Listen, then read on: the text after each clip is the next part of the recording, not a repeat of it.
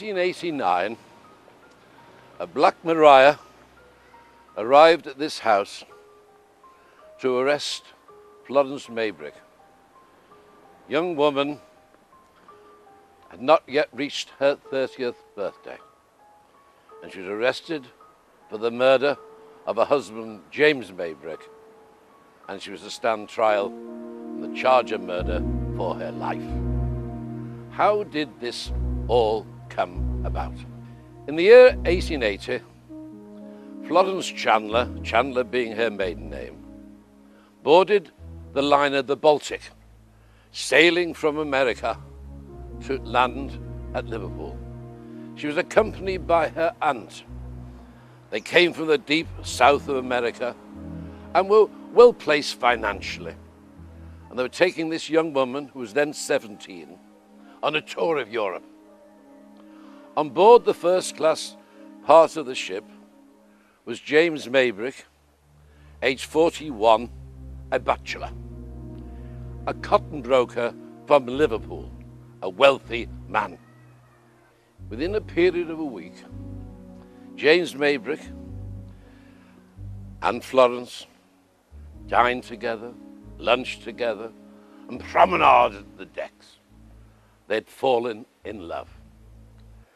I just speculate after the passage of years. She's only 17, he was 41. I suspect she was seeking a father figure because her father had long since passed away.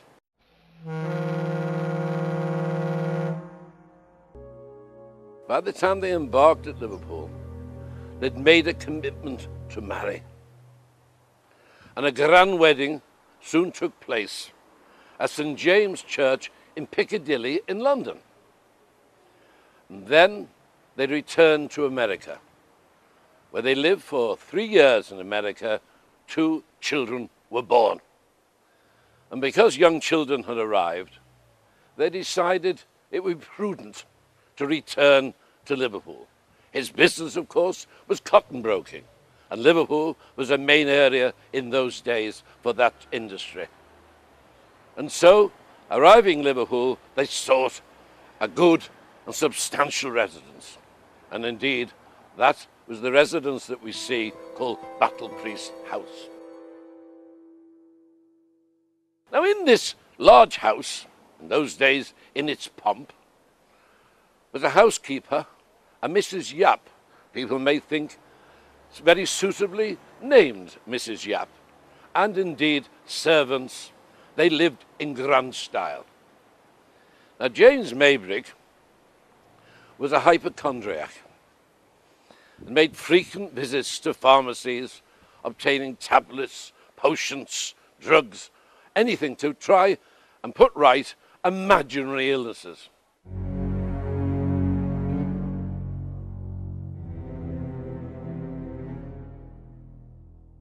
James Maybrick not only worried about his health, but he also purchased arsenic.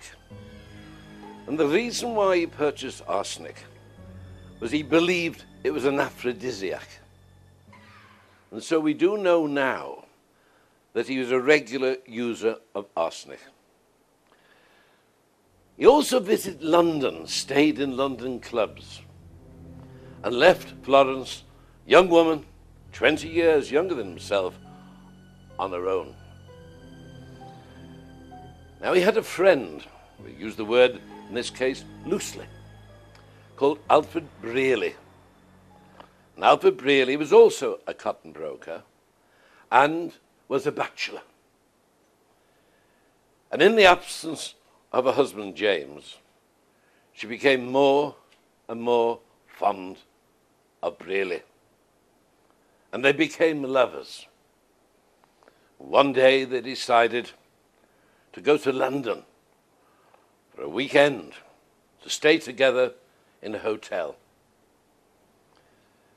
When she returned, for reasons which I cannot help. He realized that she'd been unfaithful with Brierley. And a dreadful scene took place where he beat her so badly that she went to the doctor. In those days, Matrimonial difficulties of that kind seldom were reported to the police. Now, the marriage was in serious difficulties. More absence from home than they had hitherto. He went to London, came into the city of Liverpool to meet his friends more frequently, and this particular public house, the Post House, was one of his favourite haunts.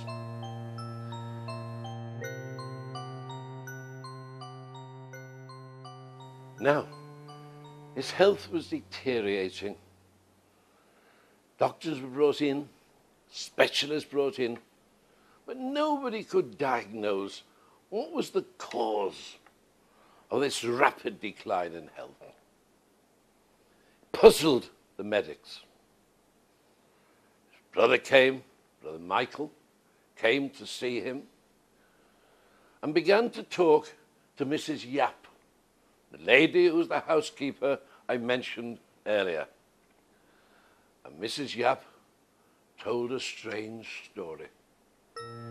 She said she saw Florence soaking 24 flypapers. Now, flypapers, we will remember years ago, the flypapers used to hang from a light, sometimes a mantle, sometimes an electric light bulb, and they were covered with syrupy covered, bluish material. I always believed that when the fly hit the flypaper, it died. Wrong. Those flypapers were soaked in arsenic, and the fly died from arsenic poisoning. And what Florence was doing was soaking the flypapers to get out of it the arsenic. Now, her explanation for this was that she believed that arsenic was good for complexion. This was not a time when cosmetics were so plentiful and available to women. And indeed, there was a magazine article which advocated this. And so she gave a perfect explanation of why she wanted this arsenic. But having said that, the suspicions were there. On May the 11th, in 1889, James Maybrick died at his home in Battlecrease House in Aigburth, Liverpool. The coroner decided to have a post-mortem. And the post-mortem showed that James Maybrick's body had a quantity of arsenic in it. And amazingly, quite amazingly, the coroner brought a verdict, which in those days they could do, nominating or naming Florence Maybrick as being the person responsible for the death of her husband.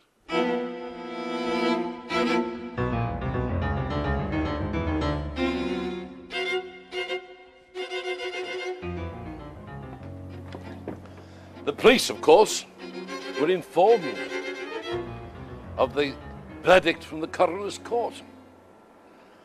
And Florence, within a short space of time, was arrested and charged for murder to stand trial for her life at St George's Hall in the city of Liverpool.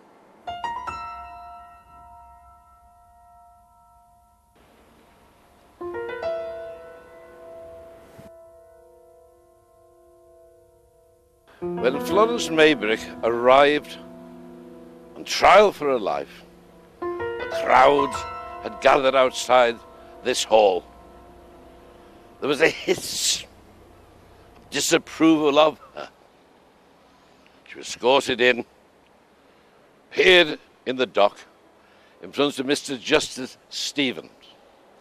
Now, Mr. Justice Stevens was an old man with waning powers. In those days, judges didn't have to retire at a certain age, and he was gradually failing in his ability conduct a trial. Florence was defended by Sir Charles Russell, QC, eminent counsel, man of enormous reputation and ability. And he did his best for her. Got to remember that before 1898, the Criminal Evidence Act, a defendant couldn't give evidence on their own behalf, therefore stand in the witness box and be asked questions by both the prosecution and the defence. So all she could do was make a statement from the dock. The question of her adultery seemed to be the issue at the trial. The fact that she had been adulterous with Brierley was a major factor that seemed to dominate the mind of the judge. Got to remember that the jury of 12 people would be of the so same social background as Maybrick himself. And despite all the efforts of Russell, the jury retired for a very short space of time and brought back a verdict of guilty. Judge donned the black cap and sentenced Florence to death.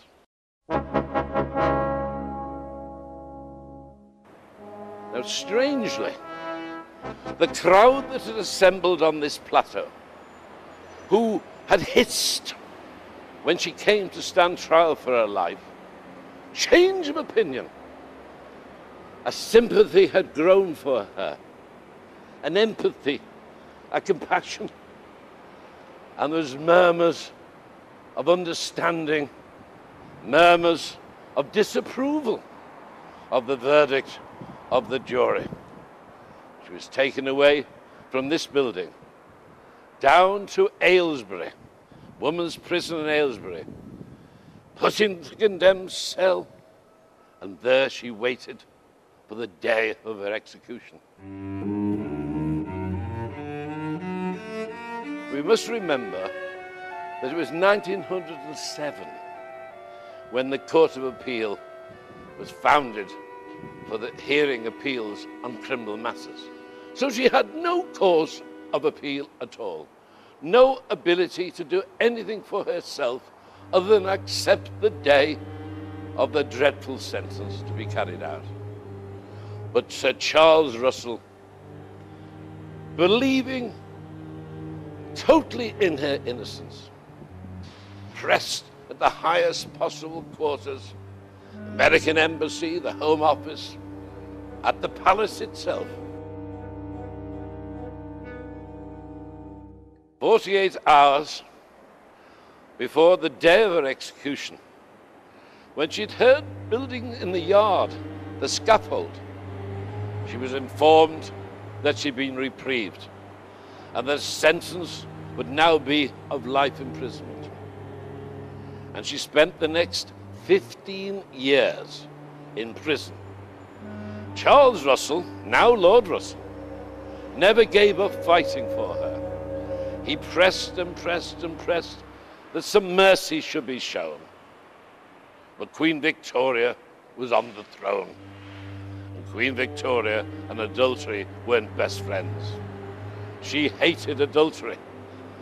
And while she lived, she was determined to make sure that her Home Secretary would not curtail the sentence. In 1901, Edward VII became king. He was a, the last person to condemn adultery. And within a couple of years, the Home Office, Home Secretary announced he could be released. And she returned to her native America and died in the 1940s, late 70s years of age, 76 years of age, a recluse. Was she guilty? I don't know. But Sir Charles Russell believed passionately in her innocence, and I will take his judgment.